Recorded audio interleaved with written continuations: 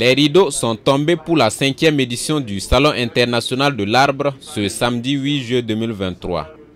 C'est devant un parterre d'exposants ayant pris part à l'édition 2023 du SIA et des membres d'organisations de jeunes engagés pour la protection de l'environnement que le comité d'organisation a tiré un bilan satisfaisant.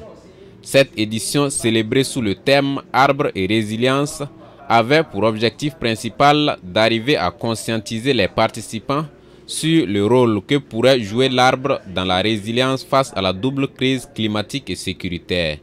Et les différentes activités menées durant trois jours ont permis d'atteindre cet objectif selon le coordinateur général du comité d'organisation. Déjà, au niveau du panel, nous avons eu des communications qui nous ont permis d'entrer en profondeur sur, à la fois au niveau des politiques comme des actions sur le terrain, sur réellement les rôles que pouvait jouer l'arbre et comme moyen de, résilience.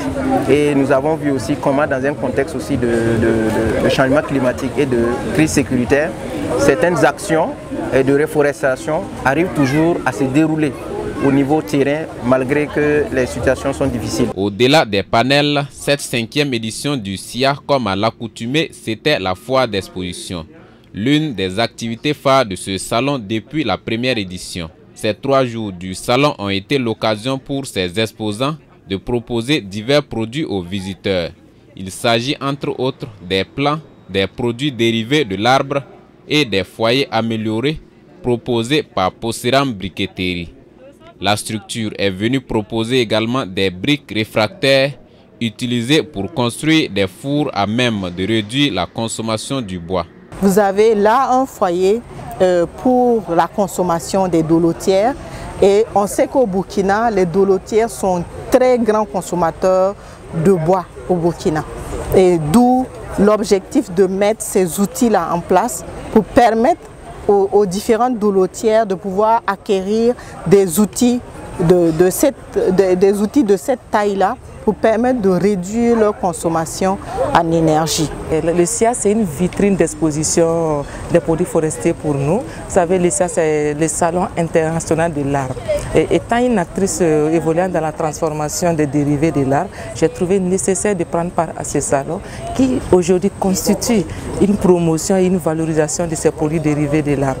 Au bout des trois jours d'exposition, certains exposants se frottent les mains tout en invitant les initiateurs du SIA à mettre beaucoup l'accent sur l'aspect communication pour donner une ampleur large aux prochaines éditions. Nous sommes, on ne va pas dire très satisfaites, mais satisfaites parce que nous avons pu avoir des collaborations et il y a plein de clients qui ont promis de revenir et cela nous encourage beaucoup à continuer. Sincèrement, euh, je crois que c'est mieux d'informer les gens là très tôt pour ne pas faire la pub même à la télé.